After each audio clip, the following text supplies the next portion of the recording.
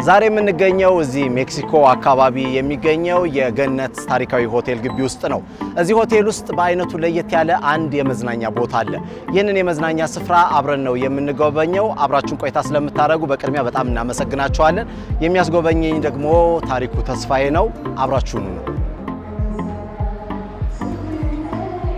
ታሪኩ እንደምን አለ? እንኳን ደህና ቆየኸኝ። ሰላም ነህ? እናመሰግናለን። እንግዲህ ይህንን ታሪካዊ ቦታ አብረን ነው የምንጎበኘው። ወደ ውስጥ እንግባ።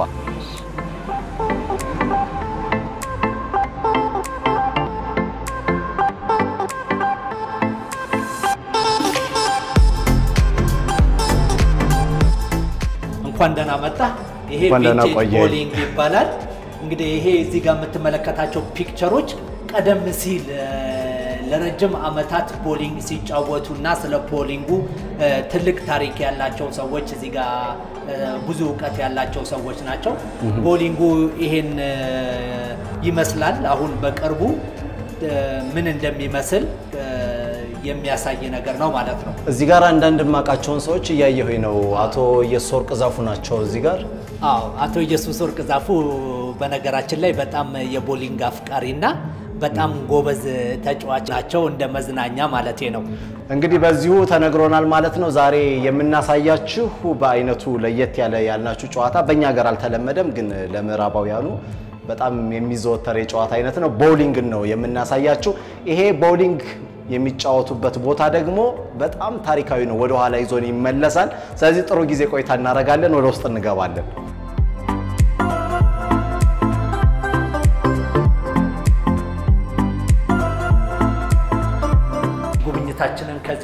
የምንጀምረው። ቪንቴጅ ቦሊንግ ነው ያለ ነው። ያው እንደምትመለከታቸው እንግዲህ ከመግቢያው ጀምሮ vintage የሆኑ እቃዎች ናቸው ያሉት። vintage ምን ማለት ነው? vintage ያው የድሮ እንደማለት ነው እና ያው ቪንቴጅ ቦሊንግ እንግዲህ በገነት ሆቴል ውስጥ ወደ 60 ዓመታትን ያስቆጠረ ታሪካዊ የሆነ የሀገር ቅርስ ነው። እዚሁ ሆቴል የነበሩ እቃዎች ናቸው እነዚህ። እዚሁ ሆቴል የነበሩ እንደገና ደግሞ እኛም ደግሞ በዛ ዘመን የነበሩ እንትኖችን አሰባስበን ነው ማለት ነው። ስለዚህ ለጨዋታው ሲመጣ እነዚህንም የድሮዎቹን እቃዎች በመመልከት የድሮ ትዝታንም ከዚሁ እንግዲህ ጎን ለጎን ማስታወስ የሚቻልባቸው ትዝታን የሚቀሰቅሱ ብዙ ነገሮች አሉት ማለት ነው። ወደ ውስጥ እንግባና የቀሩትን ደግሞ ዋናውን የጨዋታውን ክፍል እንመለከታለን።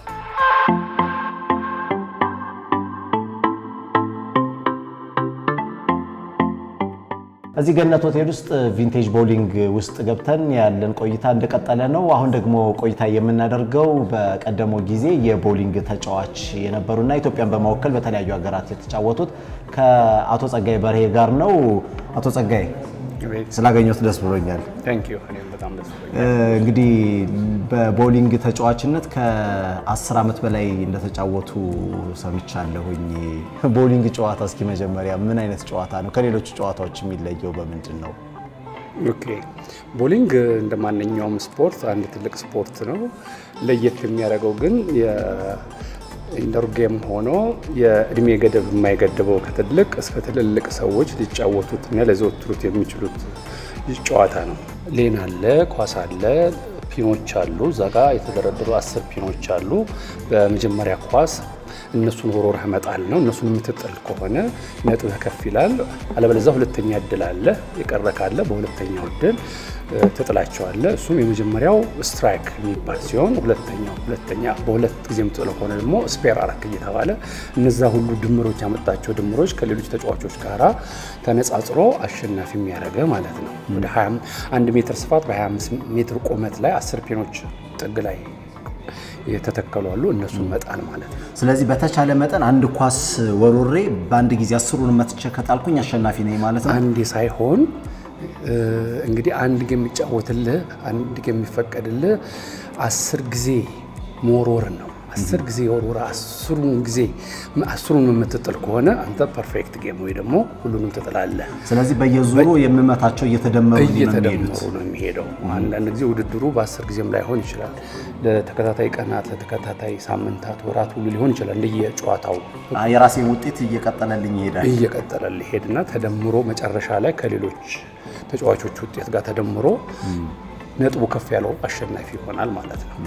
ጨዋታው ከንጉሱም ዘመን አንስቶ በደንብ እየተለመደ የመጣ ነው ማለት እንችላለን ወይስ ከዛም በፊት ነበረ? በእኛ አቆጣጠር እስከ ሰማንያዎቹ አጋማሽ ድረስ ኢትዮጵያ ብቸኛ የዓለም ዋንጫ ተወዳዳሪ እና እንዲሁም ኢትዮጵያን ሳይሆን ከኛ ሀገር የሚሄዱ ለዓለም ዋንጫ የሚጫወቱ ተጫዋቾች አፍሪካን ሁሉ ወክለው ይጫወቱ እንደነበር አውቃለሁ። በጣም ብዙ ተጫዋቾች ነበሩ። አዎ ተጫዋቾች ነበሩ። በየአመቱ ኢትዮጵያ ወክለን እንሄድ ነበር። በመሀል በደርግ ዘመን በሰባዎቹ 75 እስከ 85 I think ለ10 ዓመት ያህል ተቋርጦ ነበረ።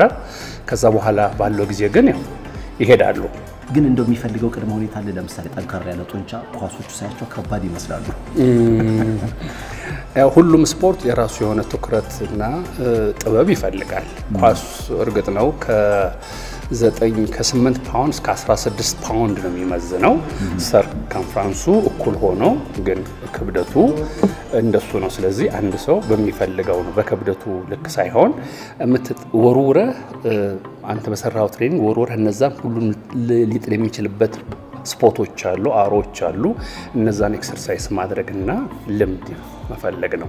እስኪ ስለዚህ ቤት የሚያስታውሱትን ታሪክ ይንገሩኝ። እንግዲህ በጣም ታሪካዊ ቤት ነው።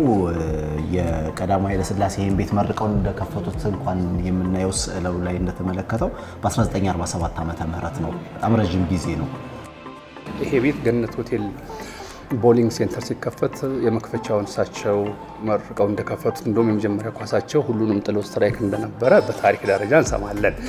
ግን ከዛ በኋላ ይመስለኛል እምቧይ መስክ ወይ ሪሼ የሚባል ቦታ ከዚህ ሰፋ ያለ 12 lane ነው ያለው። ይሄ ለስድስት lane ወይ ሶስት ጥንድ ነው ያለው። እምቧይ መስክ ደግሞ ስድስት ጥንድ ወይ ደግሞ 12 lane ነው ያለው። እያንዳንዱ መስመር ነው lane የሚባለው። አዎ lane የምትባለው አንድ ነች። አሁን ይችኛዋ አንዷ አንድ lane ነች። ሁለቱ ሲደመሩ አንድ ጥንድ ወይ ሁለት lane ይባላሉ። ስለዚህ አሁን ስድስት lane አለው ማለት ነው ይሄ ቤት። አዎ ሶስት ጥንድ ወይ ስድስት lane አለው። የዚህ እጥፍ ነበረው እምቧይ መስክ ወይ ደግሞ ሪሼ የሚባለው ቦታ። እዛ በጣም ብዙ ተጫዋቾች ነበሩ። በጣም ጎበዝ ተጫዋቾች ነበሩ። ብዙ ስፖርተኞች ነበሩ። ስፖርቱ ምንድን ነው? ስፖንሰሮች ነበሩ። ድሮ ክለቦች ነበሩ። በክለቦች ይታቀፉ ነበረ። ስለዚህ ከፍተኛ የሆነ ፉክክርና ውድድሮች ነበሩ። በአንድ ዓመት ውስጥ ብዙ game ኦችም ይደረጉ ነበረ። single፣ double፣ triple ወይ ሶስትዮሽ moon የሚባል ይሄ የጨረቃ ጨዋታ፣ master፣ እንደገና ኢትዮጵያ ሻምፒዮን እየተባለ አመቱን ሙሉ ውድድር ይካሄዳል። ስለዚህ አመቱን ሙሉ ኢትዮጵያን ወክሎ የሚሄድ ሰው ደግሞ ኢትዮጵያ ሻምፒዮን የሚሆን ሰው ነው። ከዛ በፊትም በአፈ ታሪክ ደረጃ የገነት ሆቴል ምናልባትም በጣሊያኖች እንደተመሰረተ የሰማው ይመስለኛል። ገነት ሆቴል መጀመሪያ ጣሊያኖች እንደገነቡትና ይሄ ደግሞ ምናልባት እነዚህ ትንሽ አርበኛ አስቸጋሪ ኢትዮጵያውያኖች ይታሰሩበት የነበረ ቤት እንደሆነ ነው እንደ አፈ ታሪክ ይወራ የነበረው። ከዛ በኋላ እንደውም ገነት ሆቴል የሚለውን አሁን የገነት ቦታ ነው ነፃ ወጥተናል አይነት ስያሜ ኃይለሥላሴ እንደሰጡት ነው። በኋላ ወደ ቦሊንግ እንዴት እንደዞረ አላውቅም፣ ግን ዞሮ ዞሮ ምንድን ነው ሁሉንም ነገር ከአውሮፓ ነው የሚመጣው። እኛ እንዲህ አይነት ስፖርቶች የሚመጡት ከዛ ነው እና ቀደም ሲል ጣሊያኖች ነበሩ። እኛ በደረስንበት ጊዜም ብዙ ክልሶች ነበሩ። ብዙ ክልሶች ይጫወቱ ነበረ። ኢትዮጵያውያን ክልሶችም ኢትዮጵያን ወክለው ውጭ ሀገር የሄዱ አሉ።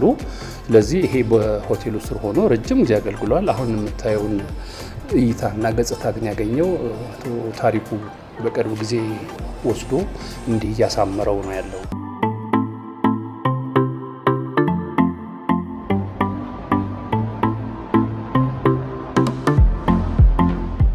ማንኛችሁም መታችሁ ልትጫወቱበት የምትችሉትና ምናልባት ሌላውም ዓለም እንዴት እየተጫወተበት እንደሆነ ልምድ ልታገኙበት የምትችሉት ጥሩ የጨዋታ አይነት ነው ብዬ አስባለሁኝ። ከተጫወትኩት በኋላ ደግሞ ጥሩ ምስክርነት ሰጣለሁኝ። ኢንቨስተሮች ከአሁን በኋላም ወደፊት ሲሰሩ ይሄን ነገር እያካተቱ ህንጻቸው ስር የሚሰራበት መንገድ ቢፈጠር ብዙ ተጫዋቾች ይኖራሉ። አገራችንም በዚህ ስፖርት ያለን ዋንጫ የምታዘጋጅበት ሰፊ እድል እንዳላት አምናለሁ እና መንግስትም የመንግስት ተወካዮችም ይህንን ነገር ቢያዩትና በእናንተ በኩል ይህ ነገር ቢተላለፍና ለዚህ ነገር ትኩረት ቢሰጥ ነው ማለት እፈልጋለሁ። ወደ ጨዋታው እንግባና ምን እንደሚመስል አብረን እንመልከታለን።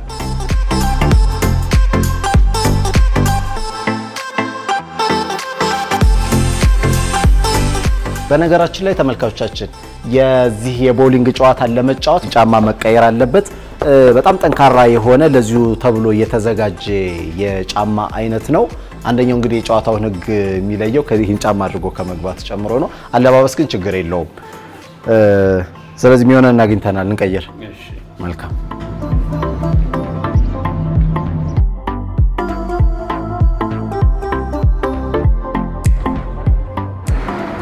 በሁለቱ ጣት ነው። እንደዚህ ነው የሚያዘው።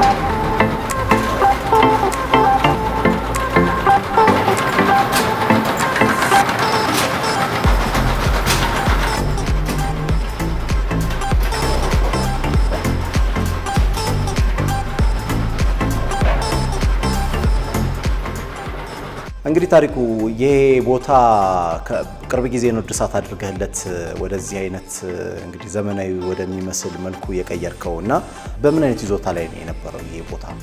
አዎ እንግዲህ ያው ቦሊንጉ የነበረበት ይዞታ ከነበረው ታሪክ ስታየው በጣም በሚያሳዝን ሁኔታ ላይ ነበረ የነበረበት ደረጃ። አገልግሎትም ብዙ አይሰጥም ነበረ። ለሁለት ዓመት ያህል እድሳት ከተደረገ በኋላ አሁን ደግሞ ዘመናዊ በሆነ መልኩ የድሮ ይዞታውን እንደያዘ ሆኖ ታድሶ አሁን ከቅርብ ጊዜ ጀምሮ ስራ ላይ ይውላል ማለት ነው። በንጉሱ ተመርቆ ታሪክ ያለው ቤት ነው። ታሪካዊ ቤት እንደመሆኑ መጠን ደግሞ ይህን እንደዚህ አይነት ነገሮችን ልንንከባከባቸው እና ልንጠብቃቸው ይገባል እና ከዛም ማንገል ነው ወደዚህ ስፖርት በአዲስ መልኩ መጥቼ ይህንንም ለማንቀሳቀስ የሞከርኩት ማለት ነው። በጣም ከገረሙኝ ነገሮች ውስጥ አንደኛው የማሽኑ እስካሁን ድረስ መስራት ነው። በጣም ረጅም ዓመት ነው። በጣም ከጀርባ የያዘው ቦታ ራሱ በጣም ትልቅ ነው። እስካሁን ሳይበላሽ ነው አንተ ያገኛቸው ወይስ አስጠግናቸው ነው? አዎ እንግዲህ ምንድነው ማሽኖቹም ከፍተኛ ውጭ ወጥቶባቸዋል። ከውጭ ሀገር ሰዎችን በማምጣት ሁሉ ከካምፓኒው ድረስ ሰዎች አምጥተን የውጭ ሀገር ዜጎችን አስጠግነናል። አንደኛ ስለዚህ ኩባንያው አለ ማለት ነው። አሁንም still አለ። አዎ እና ምንድነው የዚህ ማሽን ትልቁ ችግሩ የነበረው በወቅቱ ማሽኑ service ኡን በየጊዜው አያገኝም ነበረ። company ው በጣም ነው የተገረሙት እና ወደፊትም ደግሞ ከ company ው ጋር በጋራ ብዙ ነገሮች ከ company ው ጋር የምንሰራቸው ቦሊንግ ላይ ይኖራል ማለት ነው። ለአንድ ጨዋታ ስንት ብር? ለአንድ ጨዋታ አሁን እዚህ 50 ብር ነው በ game አንድ game የሚባለው ስንት? አንድ game እንግዲህ አስር ዙር ነው። ዋጋው ተመጣጣኝ ይመስለኛል። እንግዲህ አሁን ካለው ገበያ አንጻር ብዙ ወጣትም ሊዝናናበት ይችላል ብዬ አስባለሁ።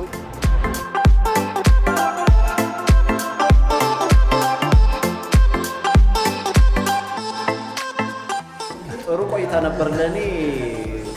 ለመጀመሪያ ቀን ግን ይፈትናል። አዎ ቦሊንግ ቀላል አይደለም፣ ግን ምንድን ነው አንተ ያስመዘገብከው ውጤት ቀላል አይደለም እና ከዚህ በፊትም እንደውም እኔ ሳትጫወት የቀረ አይመስለኝም።